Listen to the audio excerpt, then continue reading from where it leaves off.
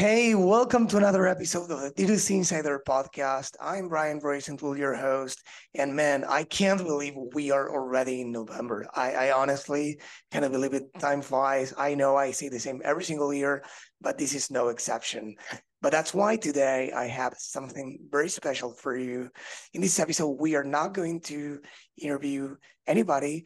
I'm going to talk what matters the most nowadays, which is Black Friday and Cyber Monday. So it's actually the first one I'll do without any guest after a long time. But I won't be alone. I have my business partner here with me, uh, my business partner at BSR Digital, my agency, by the way. Her name is Flor, and she'll be joining me in some episodes as a co host. Hey, Flor, I'm really happy to have you here. Welcome to the show. Thank you. Thank you. I'm super excited to be here. It's going to be fun. Yeah, I'm sure we'll have a, a great time the same way we do off the record. And by the way, for those who don't know who you are, could you please quickly introduce yourself? Yeah, I'm uh, part, part of the BSR Digital Agency. I'm the account manager for most of our clients. And I've been in the digital marketing uh, area for like almost seven years now that's a lot. So even before iOS 14, even before like we've yeah. been in the in the good old days of advertising yeah. and, and, and it was easy. So yeah. Yeah. Yeah. So I, I want to deliver on the promise that I mentioned at the beginning of the show, and I know we will. We'll discuss many actionable actionable uh, tips uh, for the audience, whether you are a brand, an agency, a marketer, I hope this is useful for you because, you know, this is on. We are already in November. And if you haven't started uh, your Black Friday and Cyber Monday efforts, you better start early because every single brand, or almost every single brand we know, is going to start uh, early. Some of them have already started. So we have some news for you. In case you haven't heard, Meta has released the perfect gift for advertisers for this time of the year, which is the budget scheduling feature. What's that about, Flor? Uh, it's amazing. It's going to make our lives so much easier. Uh, you can basically uh, tell Meta specific dates when you you want your budget to be higher, either by an amount or a percentage, and then it just does uh, its thing automatically, increases the budget the day you tell it to, and goes back to normal when that period ends without any wait, need for rules. We don't need any more rules for that. That's amazing. I mean, how confusing are they? I mean, we have had so many issues with rules, even though we pay attention like twice, how to set them up, etc. We always have had issues with them, right? They're super complicated. You can always forget about one setting or the other when the rule needs to run. And this way, you just set the dates and the budget, and that's it. Yeah, Super I easy. Mean, yeah, and with rules, you cannot detach like an ad set or an ad or a campaign. Like you, you gotta let it, you gotta let it off the hook. You, you, you need to like turn off the rule and create another one if you want to keep it to keep going with it uh, for a different uh, ad set or anything else. So this is uh, a relief. So how does it work? Uh, it's uh, very simple. You go to either the campaign or the ad set level, and you can, where you set the budget, there's a new option where it says budget scheduling. You turn it on, you choose the dates where you want to want it to increase or decrease if you want it to, and you set either the amount or the percentage that you want to increase by, and that's it. So let's say you want to say, hey, uh, let's let's uh, I don't know, let's increase the ad spend by 20% this weekend. We can go ahead on any type of campaign, right? Even like the manual campaigns yeah. or Advantage Plus campaigns, we can go and say, hey, start the scale on Friday night and end it at the end of this of the Sunday. Is that correct? That's correct. Yes, and you don't need to calculate after the 20% increase, how much is the decrease in percentage to go back to normal? Facebook does that automatically. That's awesome. And then I, I guess, if I'm not mistaken, they can add more time periods, right? Not yes. only one. yeah, you can do it every weekend if you want, and you don't need to like set rules or do it manually. You just set the the time frames and that's it. That's awesome. If I'm not mistaken, I believe it's up to 50 time periods that you can set up, right? Mm-hmm. So the scale, it's always calculated um, using the original amount, if I'm not mistaken. So if you say uh, increase the ad spend by 20% until no, this Sunday, on Monday, you create another one that I don't know, it should increase another 30%. I guess it will take the original amount. Is that correct? Uh, that's something that we need to check. It's a good uh, question, right? yeah, that's a good question. that's very interesting. We don't want to to make mistakes on on that side. Um, but I guess if it's in the same time frame, like if it doesn't go back to normal, then maybe it just keeps adding. And then if it's completely separate, you do it for one weekend and then for the other, it would use the same base. Yeah. So in in yes. So what Facebook or what Meta said is that it will go back to the original uh, amount, but it's a good question to ask ourselves whether it will keep the scaled, let's say, amount or not if we overlap dates. If we mm-hmm. can overlap dates, because let's say we can we, we want to say let's start scaling, but I don't want to go back to the original amount. Like I want to start scaling or I want to scale uh, at a certain pace, right? I don't know, every three days, I want to scale another 20% if things are going well. I think we don't have any conditions. I think for that, we will need, unfortunately, rules. Rule. Right? Yes. I think in that scenario, you would still need to use the rules because you want to keep increasing as the performance goes. This is only for a time frame, a specific increase, and then go back to what it was in the beginning. Yes. So a great feature indeed. And the timing couldn't be better, right? so we are going to test it, at least in some accounts, to see how it works. I don't know if it's rolled out entirely, is it? Not yet, not yet. Not every account uh, has the, the new function, but where as soon as we have it on our accounts, we will be testing it, especially if we have it for Black Friday and Cyber Monday weekend, we will be right there, but testing it should be easier to, to manage. Yes, awesome. So changing subjects, Shopify has recently released a report uh, with some things brands should know about this year's holiday shoppers. I don't know if we can or we agree with all of them, but we're going to tell you the things that we consider interesting, at least for you to keep in mind. So I will start if you want, Flor. Um, mm-hmm. According to Shopify, 41% of holiday shoppers plan to start buying in October.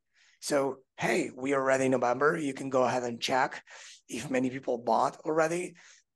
In, in case, of course, you have you released something during that month, then 39% in November and 20% in December. Keep this stat in your head because we are going to come back to this one in a sec. So 41% in October, 39% in November, and 20% in December. And with regards to how much they are willing to spend, according to them, nearly three in four holiday shoppers, 74%, plan to spend about the same or more on holiday gifts this year compared to last year. So that's great news. In a really tough context for the US and worldwide too, it's great news that people are willing to spend the same or more. But that being said, I read in a different report around the same dates by Shopify that people are willing to spend less, not not less in amount, but they are willing to buy cheaper items, right? So maybe they're spending the same, but I don't know if it's something psychological or not, but they will spend it in smaller amounts, right? But I don't know. Yeah. What do you think, Flor? I think yeah, people are are very mindful of their spending habits nowadays, especially with this situation and they want to make sure that they are getting a bargain or they're getting good value for their money. So probably they're not going to be making any rush decisions in this year. Yes. And one fun fact is that Gen Z is feeling the most generous uh, and they are planning to spend 37%, sorry, 37% are planning to spend more than last year. So that's awesome, right? I guess they have more mm-hmm. more disposable income. Yeah, but it's interesting. Yeah. It's interesting. Yeah, the younger generation is willing to spend more, but that's great. I don't know. Maybe they they live with their parents, or they're in college, or they have income they didn't use for paying rent or something like that. I don't know, right? But there must be a reason, or they I don't know. My my parents and my grandparents uh like to um let's say save money more than spending money. I guess I guess it's a, a generation uh mindset, and then uh, in this case, our generation, I think we we like enjoying life more. We travel more often than our parents or grandparents did back then, right? So I guess yeah. Gen Z, the same happens, right? They they're willing to spend more. Absolutely, absolutely. You yeah. We know that we can get some nice things and enjoy them, and not wait until retirement for that. Yeah. Yes, it's always good to enjoy.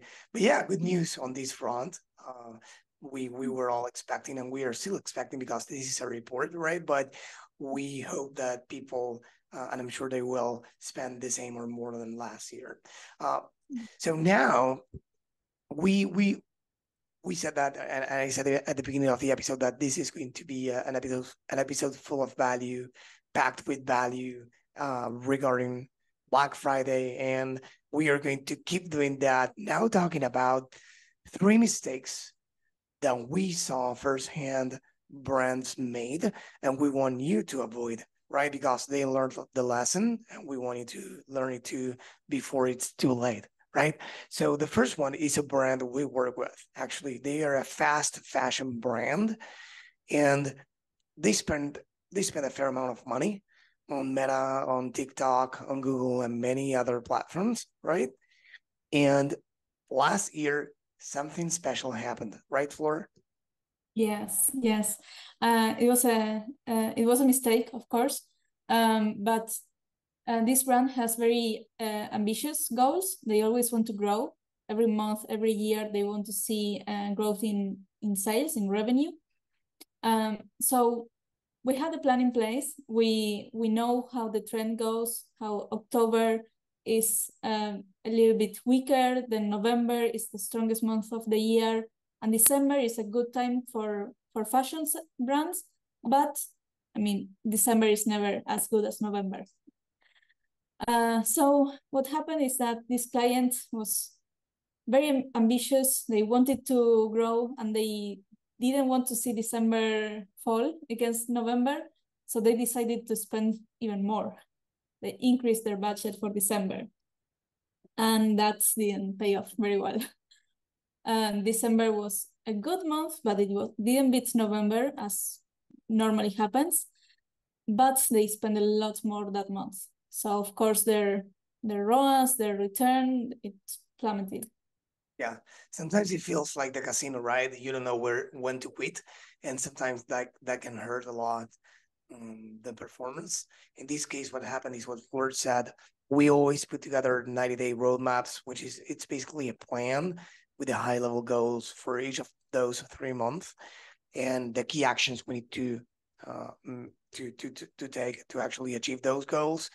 And we knew based on past years' data that November was going to be the strongest month for them, and we they had some outside advice from Meta in this case uh, that they they say, hey, you should double down. You did great on November. You will do even better on December or as good as November. We advise against it, against it, and hey, we could be wrong, right? But we weren't, and uh, it took them almost one the next quarter Q1 of this year to make it up for the losses they had. So a big lesson is that I said sometimes it feels like the casino, but it's not because the casino is something random, as we all know, We're almost we can discuss that later. But in this case, they have data it's not the first year they do this because I know if you're listening or watching this episode and it's the first time you're doing any Black Friday or Cyber Monday or any holiday shopping season, I know you're in the dark. You don't know what to expect. You can read industry benchmarks, reports, and I hope this is a valuable lesson for you to take. But if you already have data, maybe you do great in December and even better than November. I don't know, right? So you should plan accordingly the budgets, the strategy, the campaigns, etc. Everything you do should be based on past years data if you have that, right? Where to look for that data? Where can they look for, for example, for that data? Uh, well, the the store, the backend is the most reliable source of information. So Shopify, in this case, uh, we always look at trends, how each quarter compares to the other, how each month compares to the other. And we knew that December was maybe the second strongest month, but not the first, not better than November. We knew that. Uh, every year it had been the same. So the expectations were high, but yeah, we went against the the data. Yes, exactly. So the second mistake was made by actually a guest of this podcast, and he mentioned that himself here on the show. I'm talking about Anson Belt and Buckle. Uh, so David mentioned that the lack of inventory forecasting cost them a lot of money last year as well. So basically, they sell only belts and buckles, right? But they sell that. That's what they do, right? And they, for some reason, they they didn't have a proper forecast for the inventory they needed to buy. They just, you know, bought inventory like that. And they mm-hmm. are an eight-figure brand. They they didn't start yesterday. They've been in business for I don't know over 10 or 15 years, I believe, or more and they they they actually miscalculated how much inventory they needed for the holiday season and they ran out of stock very soon in the holiday season so they missed uh, wow. on a lot of sales right so that's the other mm-hmm. yeah. phase of the equation right we mentioned how overspending can hurt you so lack of inventory can hurt you more or even the same right yeah and that shows how the what how important processes are in every part of the business not yes. having the right process for for inventory tracking and and ordering it's it's a yes. very yeah. huge yeah marketing impact. marketing is a big a big area of any D2C brand but it's not the only important one. So there are many processes on the back end that you should watch too right? And one of them is the forecasting the inventory right? One of the many. So um, the third mistake is one we heard from a client actually, and they said they wanted to use Black Friday only, only to clear old inventory. Yeah. That's it, right? And hey, I said only because I don't think it's bad to use that time of the year for clearing out old inventory. That's awesome. That's great. It's part of what every brand do. But using it only for that, I think it's a mistake. Do you agree, Flor? I agree 100%. I think people people know. They they prepare for for Black Friday season for the sales and they know when something is has been around for a long time and it's discounted and when something is new and it doesn't have a discount. And normally consumers don't like that. They want the good deals not the old stuff only yes and let's take a look at this in a different from a different perspective. You can get out of these i mean either uh, one of these two let's say in black friday you can get either purchases from existing customers or new customers right? Let's say for a sec that you want to sell these to an existing customer. They already know about you they already know what you sell and probably they know this is an old item. So although some people might be into it most of them are not because they already know and they've been exposed to it many times and now it's not something they were sorry? They already and they already had a chance to buy it.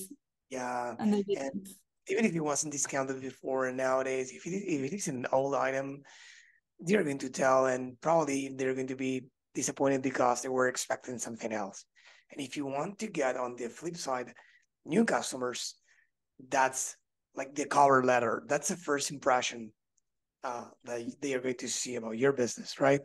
Do you really want that to be the first impression for them, right? So why not put in the best of the best there? You don't need to give it away, like you don't need to give a ninety percent discount, right? But why don't showcase the best you can you can show them so they can buy it and come back for more because showing them some old stuff they don't know if it's an old stuff or not. Your current customers will, but they wouldn't. They will see that you're selling something that probably is out of fashion or whatever, right? And they're not going to be into that, and probably you're going to miss out on many new customers that way. What do you think? Yeah, absolutely. I think uh, it's very important to add value and to give value to the customer in in this type of time of the year. Um, it wouldn't make sense to only have uh, discounts on uh, summer items when you're right in, in the middle of autumn, almost winter. People yes. are not looking for that for in Black Friday. They want yes. good value for something that they can use now. Yeah, sometimes you can you can tell whether it's something new or not because I don't know mm-hmm. color changes uh, depending on yeah. the season or something as you said it's a winter thing for Trend. summer the other way around. So people people are not stupid. They can tell wh- whether something's new or not. So and whether something you are giving them a great deal or not. So be the smart person in the room and give them a good deal, and I'm sure they will come back uh, for more if they like it. So talking about processes, you mentioned that brands should have many processes. You know, the the front end is one thing, but on the back end there are many. And one of the processes we have in the agency, and I told you these when I said, "Hey, keep these stats in mind." Uh, you know, the the ones about the, when people buy for Black Friday, according to the Shopify survey, forty-one percent in October, thirty-nine in November, and then twenty. It goes down to twenty in December. Well for that, we use what we called uh, 90 day roadmaps. As I said before, these are plans we do ahead of the quarter. Before the quarter starts, we uh, do it in a presentation and basically we say, hey, we discuss the goals with the client. Sometimes it takes some conversations, right? Because many times they are clear on their goals, but many times they aren't, right? It depends on the brand. And we need to discuss the goals for the next 90 days. And then we need to do what for? We need to break them down into monthly goals, right? Yes, yeah, exactly. Um, it's super important for us as an agency to have a roadmap, to have uh, clarity on our clients' goals. So that's why we do this. And we know that we're going to be focusing on actions and goals that actually move the needle to achieve uh, what our client is expecting. So if they want to, let's say, grow in Q4, we know that October, November, and December are not going to be the same for growth. So we can plan ahead and be prepared for that and have the according actions for each of these months. And yeah. yeah. Exactly. I mean, say that way. If you're, this is the North Star, right? And guess what? This is not perfect. Many times there are know, deviations and we want to start doing something and then time goes by and we start doing something else and it happens to many or all companies. Is written in many books right? And that's why having this north star says um, says something like hey you know we know we need to reach this destination. It doesn't matter how we do it. So the wind took us this route in instead of the original one. Who cares? We are going to take this route, but we know that we need to reach this north star, right? So this is the way we use these roadmaps. We don't take them as, hey, this is exactly how things are going to play out. No, we say, hey, this is these are the actions we need to take to actually reach the goals. And then if those actions or even the goals change uh, over time, we can be still on track because we know we where we are heading. Does that make sense? yeah yeah of course we can always adjust in the middle if we see that something is not working or something that we planned for did not go uh, did not have the results that we wanted uh, we can adjust and test something different but we know what is the goal of the month where we need to to be at the end of the month or at the end of the quarter that's super yes. important and to do a quick recap, this what this contains exactly is basically the high level goals for each of the three months. Sometimes we, we can say, hey, what's the goal, like the number one or the two goals you have for this quarter?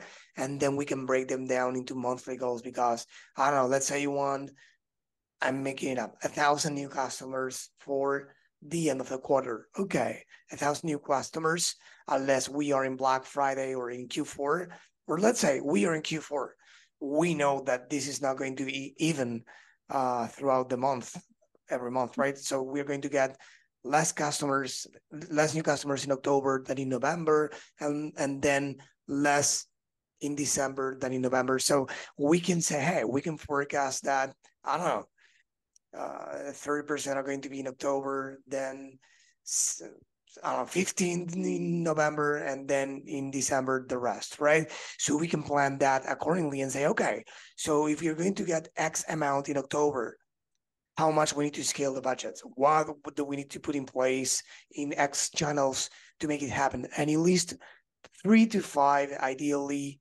high level actions, not the exact campaigns you're going to implement, but high level actions like we need to increment the budget by X percent we need to create campaigns on Meta to support this. We need to create campaigns on Google to support whatever, right?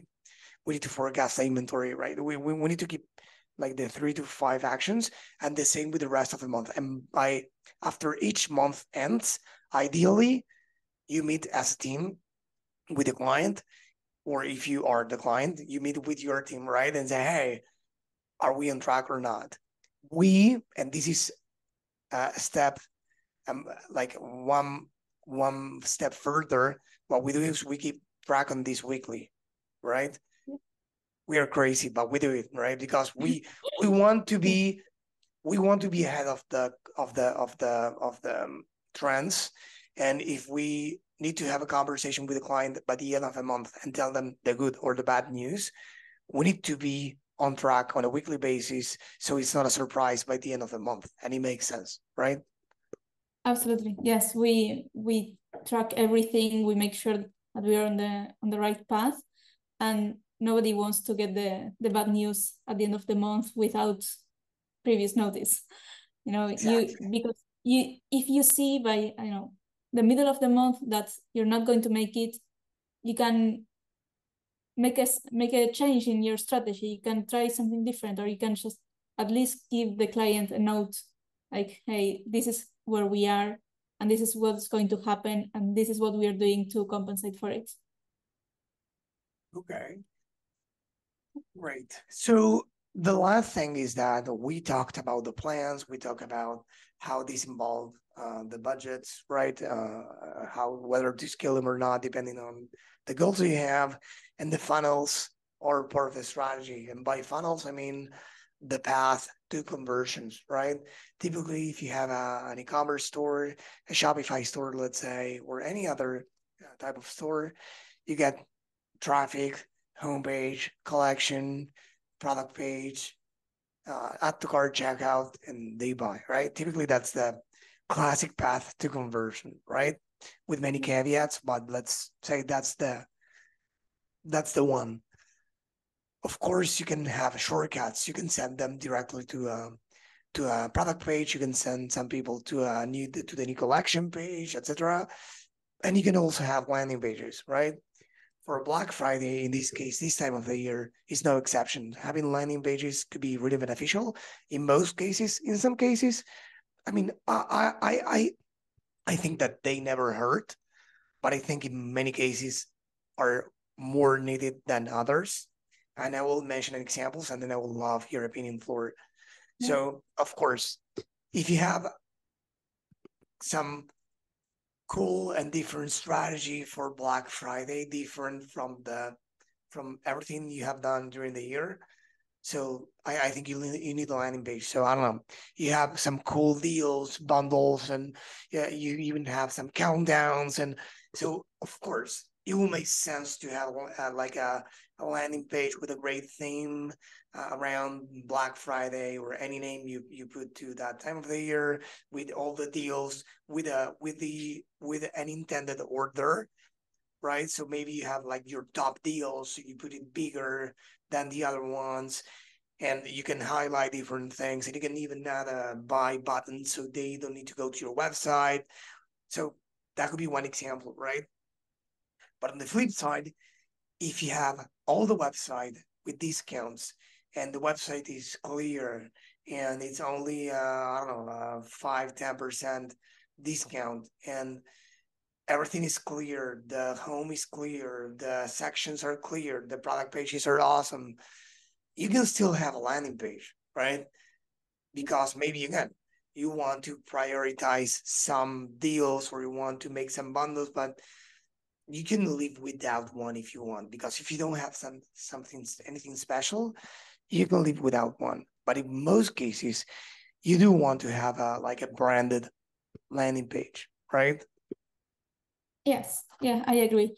Yeah, i think brands with thousands of products and a very like, stable discount across all of them might not benefit a lot from it but even then they want to push some products more than others because they have a better margin or because they are the new ones or for whatever reason they want to highlight some products.